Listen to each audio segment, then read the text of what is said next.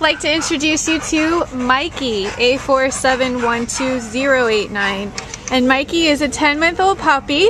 He is a male black and white Lab Retriever Great Dane. We'll show you his full body walking around here at the end of the video so you can see why we think he might have a little bit of Dane in him.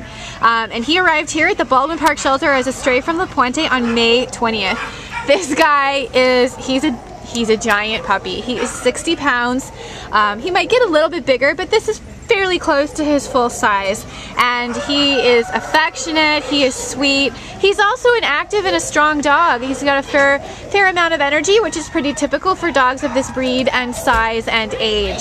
So we would love to find help Mikey find a forever home, an active family with a single family home and a yard who are going to take him on walks and provide him with the love and the training that any puppy of any breed really needs.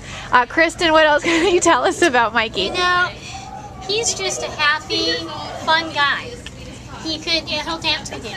He'd love to just hug you and dance with you. He's just a real sweetheart guy. So this is a giant puppy. This is Mikey. He needs some additional training. He's okay on a leash, but could use some additional training.